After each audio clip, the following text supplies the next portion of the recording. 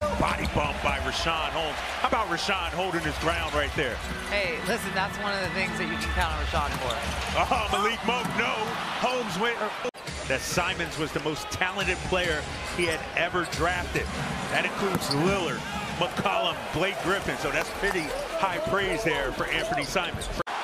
Dirk has it jammed away, diving for it was Mitchell, creating the turnover, and then Monk gives Uh-oh. it right back. Here Uh-oh. comes Little. He's load up on Mitchell into the lane. The one-two, knocked down, tripped up, and a foul. And that was one thing that was really good in the preseason. They did not have a high number of turnovers like we expected, but it has been a little bit sloppy here tonight. Fox leading all scorers with 10 points, including a couple of threes early in this game. I thought that Monk gave good minutes Yes. there. Good stretch of minutes off the bench. Secured a rebound. Instead, it's a two-point game. Nine-second differential as Davion. Little five-footer, no. Two-man game with Simons. Gets into the paint.